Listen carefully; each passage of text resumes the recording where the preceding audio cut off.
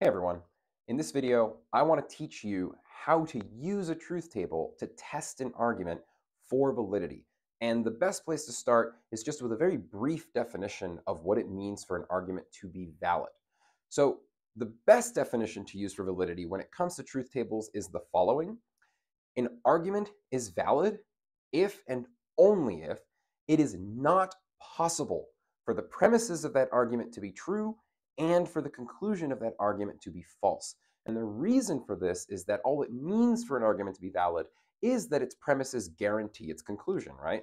And I have a whole video where I talk about the definition of validity in depth. So if you'd like more on that, uh, go ahead and check that video out. But for our purposes, what matters is just that arrangement of truth values, right? It cannot be the case that an argument has all true premises and a false conclusion. Here's another way of putting that. If you find an argument where it is possible for all of the premises to be true and the conclusion to be false, you're dealing with an invalid argument, right? Again, because if the argument were valid, then that wouldn't be possible, right? Because the premises would guarantee the conclusion. Okay, so let's just jump right in. I have two arguments up on the board, right? One of these is valid, one of them is invalid. And I'm going to show you, we'll go ahead and we'll calculate the truth values, right? We'll, we'll go through the first one, then the second. And I want to show you how, once you've done that, you can actually see whether it is that the argument is valid or not. And it's really easy, really straightforward to do. Okay, so let's go ahead and get started. So here, here I have a truth table for you. It's all set up, right? And it's already it already has all of its initial truth values laid out, right? And if you don't know how to do this, I have a video on how to set up truth tables uploaded as well. So feel free to check that one out.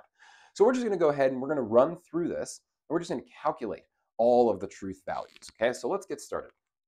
Okay, so we start off with this conditional, right? So if P, then Q.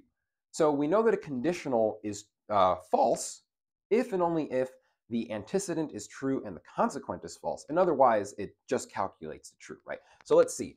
If P is true and Q is true, then we know that our conditional is true. If P is true and our condition our um, and Q is false, then we know that our conditional is false. If P is false and Q is true, then we know the conditional is true. And if P is false and Q is false, then we know that our conditional is true. Done. Let's move on to the next one. We now have a negation, right? Well, negations are really easy to calculate, right? Because if uh, the atomic statement is true, then the negation will turn out to be false, right? And if the atomic statement is false, then the negation will turn out to be true. So let's see. P is true in the first two rows and false in the next two rows. So we're just going to write the opposite of that. False, false, true, true. And now we have the negation of Q, so we're just going to do exactly the same thing right? So Q is true, false, true, false. So not Q must be false, true, false, true. And that's it. We've written out the truth table. All that's left now is to test to see uh, whether it is that this is valid. Okay, the definition of validity tells us that when an argument is valid, right, uh, if an argument is valid, then it's not possible for its premises to all be true and its conclusion to be false. Remember that a truth table shows us every single possible combination of truth values, right? For an argument, for a set of statements, for whatever, right? Anything that we put into it. Okay, so now all we have to do is check to see whether any row exists, not counting these. These are not part of the argument, right? These are just the atomic statements that we use to set things up. So from here forward, right, where we have our premises and our conclusion, can we find a row where every premise is true and the conclusion is false. If we can find that row, then we've proven that the argument is not valid because a valid argument would never have any such row. Let's check. The first row, true, false. Oh, we can already stop, right? We're looking for a row where all of the premises are true and the conclusion is false. And here, one of the premises is false. So we move on to the next one both of the premises are false. So we can just move on to the next one. Here we have a row where the premises are both true. So now we check to see whether the conclusion is false. And it is.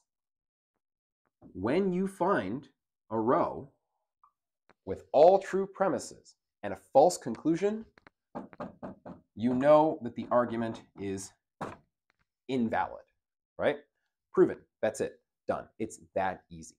Okay, so that's a very simple argument. Let's move on to a more complicated argument, right? So now we have three atomic statements. So this means that we're going to be dealing with a lot more rows, right? We have eight rows. And it's just worth it to go through this kind of exercise because your professors, some of them will give you arguments that have four atomic statements. I've come across those who give students uh, truth tables that have five atomic statements. I, I think that's a little cruel, but you know, I'm not in charge of those classes. Okay, so let's go ahead and calculate this thing, right? So we have a disjunction, right? We know that disjunctions are false when both of the disjuncts are false. Otherwise, they're true. And it's for A and B, so we'll just run down these truth values. True or true is true. True or true is true. True or false is true. True or false is true. False or true is true. False or true is true. False or false is false. False or false is false. And that's every single possible combination of truth values for A or B. Now let's move on to the next premise, right? Here we have if A then C, right? So let's go ahead and calculate that. If A is true and C is true, then A implies C is true. If A is true and C is false, then this is false. True implies true is true. True implies false is false. False implies true is true. False implies false is true. False implies true is true. And false implies false is true. Okay? Let's move on to the next conditional, right? So B implies C in this case. So true implies true, that's true. True implies false, that's false. False implies true, that's true. False implies false, that's true. True implies true is true. True implies false is false. False implies true is true, and false implies false is true. So we've calculated all of the truth values for the next column. All that's left now is the conclusion.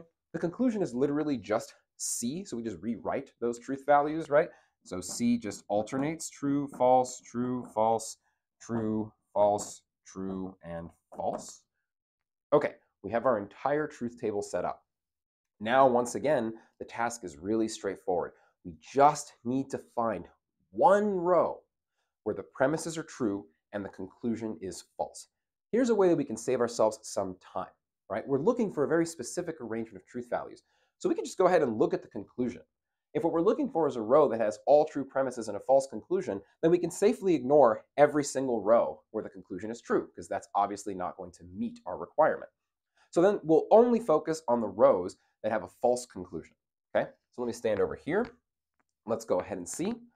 Here, the conclusion is false, but we also have a false premise. So this doesn't meet what we're looking for, right? Because we're looking for all true premises and a false conclusion.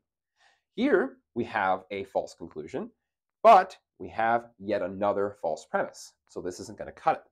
Let's move down again. There's yet another false premise, so that's also not going to cut it. And if we come down to the very final row, we'll note there is yet another false premise. What have we learned? Well, the truth table shows us every single possible combination of truth values for a given argument or set of statements or what have you. So we've seen every single possible combination, and yet none of them have all true premises and a false conclusion. What this means is that this argument is valid because it's not possible for the premises to all be true and the conclusion to be false.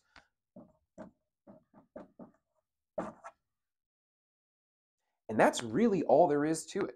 You just have to set up your truth table correctly. Be very cautious when you're doing this. My suggestion is use lined paper so that you don't end up getting messy truth values, which happens to me sometimes, right? Uh, write out your truth table. Make sure that you followed all of the rules. And when you're done, you have one simple task. Check all of the rows. Look for all true premises and a false conclusion. If you find that row, the argument is not valid. If that row does not exist, then the argument is valid. And you can know this with certainty. And that's all there is to using truth tables to test for validity. If you like this video and you want to watch more like it, where I talk about logic or philosophy, stick around. I'll see you next time.